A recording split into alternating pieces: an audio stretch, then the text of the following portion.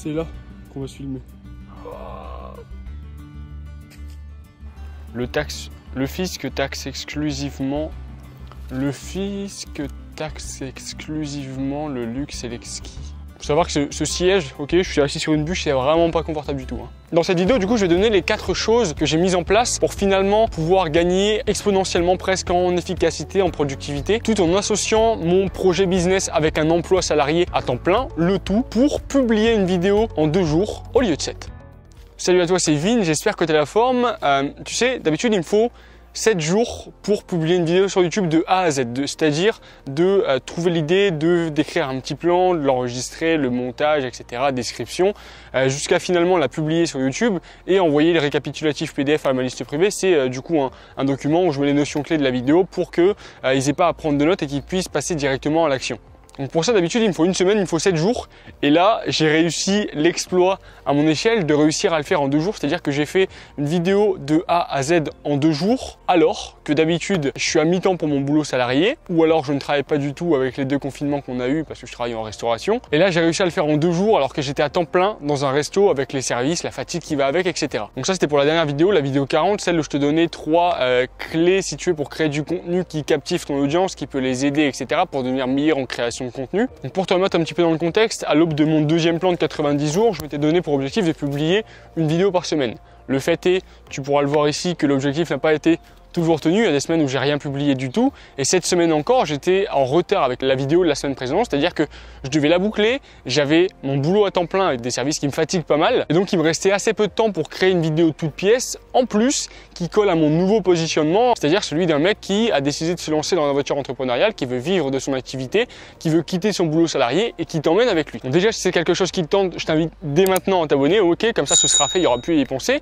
Et euh, du coup, l'objectif, c'était de publier cette fameuse nouvelle vidéo c'était de publier la vidéo de la semaine précédente et cette fameuse vidéo pour le dimanche à tout prix. Et du coup, tu l'auras compris, le défi n'était pas du tout gagné d'avance, ok, ça s'annonçait même plutôt mal. En milieu de semaine, j'avais commencé à, abandonner, je m'étais dit ta vidéo sera jamais publiée, c'est mort. Donc l'objectif de cette vidéo, ça va être de donner quatre clés, quatre astuces. Pour la première clé, je vais t'aider en fait à prendre une nouvelle habitude de manière à trouver du temps pour ton projet, peu importe les imprévus, peu importe si tu as une activité à côté, peu importe si tu as des études, un boulot salarié, etc. On va apprendre à trouver du temps chaque jour dans notre journée pour avancer sur notre projet liberté, pour avancer sur ce qui compte vraiment pour nous. Pour la deuxième clé, tu vas voir comment j'ai pu exploiter les imprévus et comment j'ai accepté de faire moins bien imparfaitement pour faire quand même et comment tu vas pouvoir faire toi aussi. La troisième, on va parler du paradoxe du sablier. C'est quelque chose qui s'applique uniquement à ceux qui ne peuvent pas se consacrer à leur projet business, à leur projet liberté 100% du temps, qui sont étudiants, qui sont salariés, etc. à côté. Et tu vas voir que c'est un atout considérable qui peut nous permettre de faire plus, mieux en moins de temps. Et avec la quatrième clé, tu vas avoir à ta disposition un véritable joker qu'il faudra du coup utiliser avec parcimonie parce que ça se fait pas sans conséquence pour te permettre de faire quand même, même quand tu as peu de temps devant toi. Et c'est un truc paradoxalement que j'ai appris de l'école. Alors je sais qu'en tant qu'entrepreneur, on n'a pas trop l'habitude d'apprendre de, l'école pour notre manière de travailler, pour notre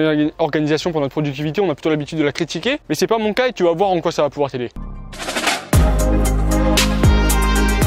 Donc je vais me remettre un petit peu en mouvement.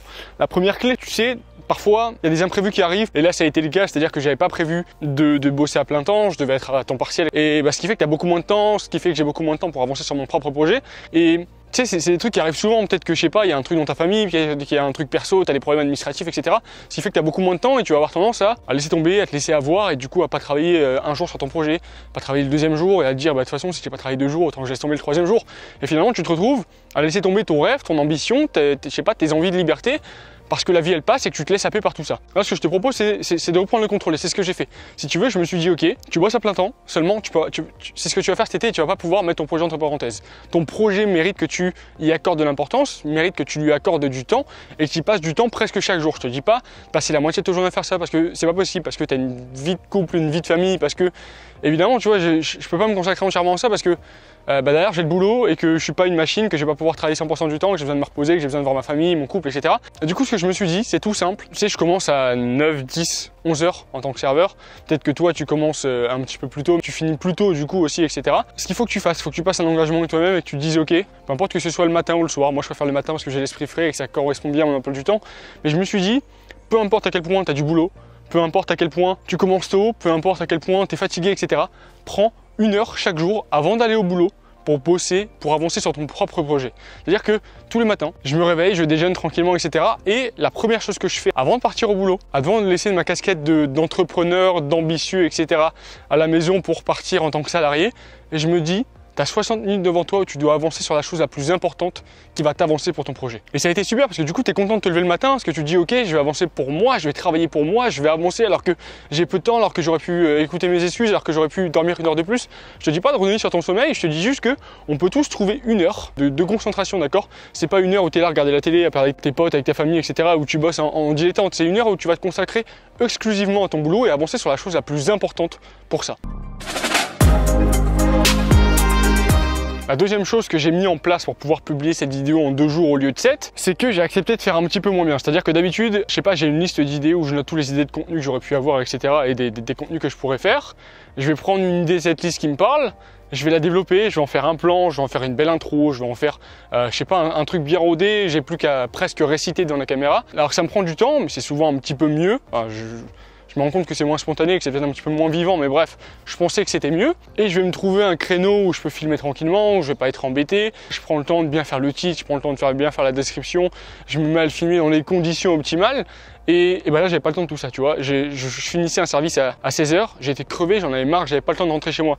Qu'est-ce que j'ai fait? J'avais rien de préparé. Je me suis dit, ok, tu pioches une idée, tu fais un plan en 5 lignes et tu bazardes et t'enregistres. Et, et ben cette vidéo, elle a été spontanée, elle a été vivante, j'ai pris du plaisir à la tourner, il y avait un fond, il y avait la forme, Je je sais pas, je, l'ai trouvé pas mal, elle n'a pas autant cartonné que ça, d'accord, les, résultats sont timides, n'empêche que la vidéo, elle a été faite moins bien en théorie, mais je l'ai faite quand même. Et ce qui m'a permis aussi de la publier en deux jours, c'est que, tu sais, j'ai toute une liste de process, c'est-à-dire que j'ai la description, j'ai le titre, etc. Et là, je me suis dit, t'as pas le temps de faire tout ça, t'as pas le temps de passer 20 euh, heures sur ta vidéo, euh, t'as pas beaucoup de temps cette semaine. Alors qu'est-ce qui est vraiment important? Qu'est-ce qui est vraiment important C'est trouver l'idée, faire un plan rapide, c'est faire un, titre, euh, un titre qui accroche, faire une miniature simple, c'est enregistrer sans chichi, c'est pas trop de faire chier avec les tags, etc. C'est pas trop de faire chier avec la description, j'ai pas encore mes chapitres de fait, etc. Parce que tu vois, oui ça aide, oui c'est bien, oui c'est pratique, mais n'empêche que c'est qu'un détail et t'as pas le temps de te focaliser sur les détails quand tu passes de 100% pour ton projet à euh, bah, temps plein dans un resto où t'es fatigué, etc. Donc voilà, tu vois, j'ai regardé tout ce que j'avais à faire normalement, j'ai regardé tout ce que je faisais normalement, et alors que d'habitude je vois que des choses essentielles, je vois que des choses qui fonctionnent ensemble, et je me dis oui mais ça je suis obligé de le faire, et ça je suis obligé de le faire. J'ai l'impression que tout est aussi important et que je peux rien arrêter, que je peux rien ne pas faire, sinon ça fonctionnerait pas. Alors que là, bah t'es es devant le truc, t'as peu de temps, et du coup t'es obligé de te concentrer sur l'essentiel. Donc voilà, j'ai pas tout fait parfaitement, j'ai pas tout fait complètement, il y a des choses que j'ai pas fait, n'empêche que la vidéo a été publiée, j'ai pu partager mon expérience, j'ai pu euh, développer et partager mes idées, et c'est tout ce qui compte.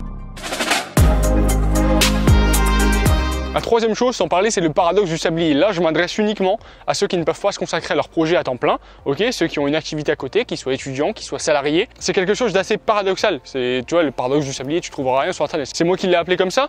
Et on a tendance à croire que c'est toujours mieux de se lancer sur un projet entrepreneurial, de se lancer sur son business, son activité, quand on a que ça à faire. Tu vois, on pense tout ça. Tu, je sais pas, t'es salarié, t'es étudiant, tu dis oui, seulement j'avais que ça à faire, je pourrais, euh, je pourrais y aller beaucoup plus vite, je pourrais faire beaucoup mieux les choses, je pourrais faire beaucoup plus de choses.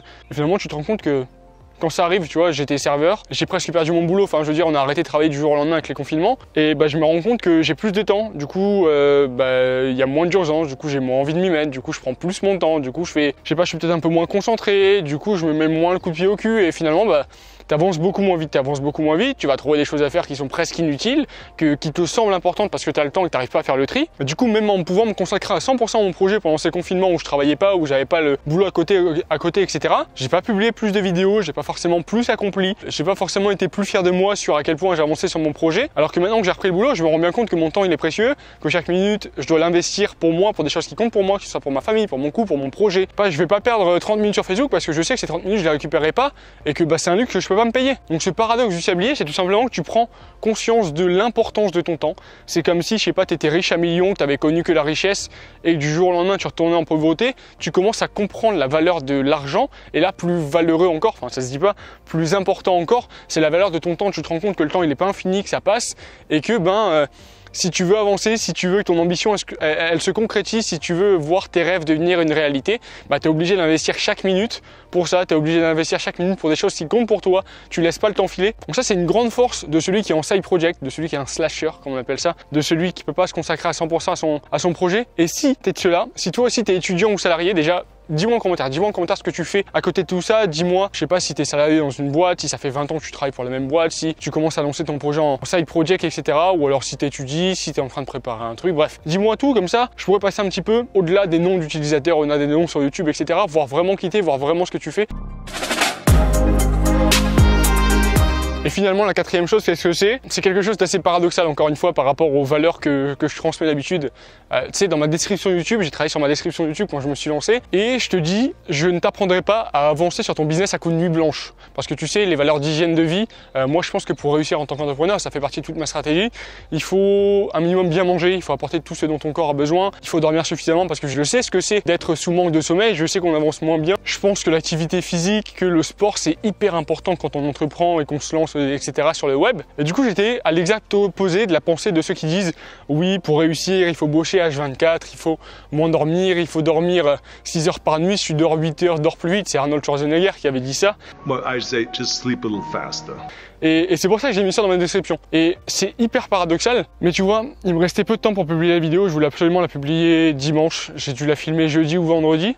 Donc, tu vois, il me restait deux jours. Il me restait deux jours et plusieurs heures de travail. Et là, qu'est-ce que j'ai fait? Je me suis dit, ok, tu dois tenir ton délai. Dimanche, avant d'aller au boulot, il faut que ta vidéo soit publiée. Et qu'est-ce que j'ai fait? J'ai pris toute ma soirée pour bosser. Je me suis couché à 2, 3 heures du matin. J'ai rogné sur ma nuit, je me suis levé tôt le matin. Euh, j'ai dû dormir 5 heures, ok. Je me suis remis dessus, j'ai fait que ça. Je me suis mis dans ma bulle, je me suis contenté d'avancer. Oui, le réveil, il a, il a été un petit peu compliqué. Oui, c'est pas des choses que je ferai tous les jours parce que comme je te dis, ton sommeil il est important, c'est une part importante de ta psychologie, des performances de ton cerveau, etc. Et pour réussir, tu as besoin de dormir. Tu as besoin de dormir suffisamment et d'être en forme. N'empêche que parfois, ça fait du bien de se mettre une deadline et de se mettre un coup de pied au cul. C'est un petit peu comme à l'école quand tu as un devoir à rendre et je sais pas, tu as pensé pendant trois mois, ça fait trois mois qu'on te l'a dit, t'as rien fait.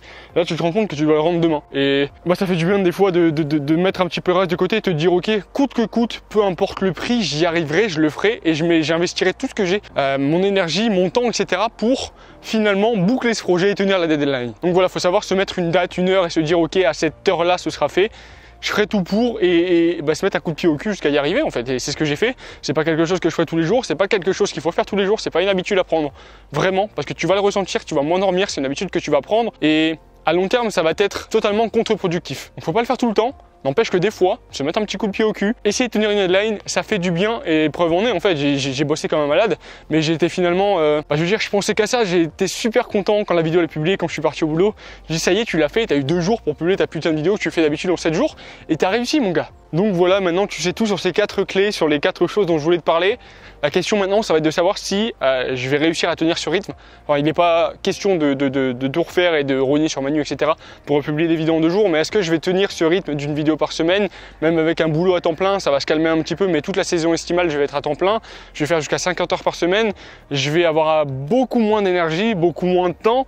Et euh, est-ce que je vais réussir, si tu veux, à tenir cette, cette vidéo par semaine à créer mon offre, à générer mes premiers revenus tout en ayant une vie de couple, une vie de famille et en pouvoir prendre du temps pour moi et en faisant du sport parce que c'est vraiment des trucs qui sont hyper importants pour moi. Mais la question c'est surtout à ton échelle, est-ce que tu penses que tu vas pouvoir utiliser au moins une de ces quatre astuces pour accomplir plus en moins de temps, gagner en efficacité, en productivité, te concentrer sur l'essentiel et tenir tes deadlines? D'abord pour être fier de toi et de ce que tu as accompli, mais aussi et surtout pour construire un business rentable et durable au service de ta vie. Alors je suis curieux de savoir quelle astuce va le plus t'aider, laquelle tu connaissais déjà, laquelle ne te correspond pas du tout. J'attends ton retour en commentaire. Alors, est-ce que je vais réussir à lancer mon activité, à générer mes premiers revenus, à prendre ma liberté?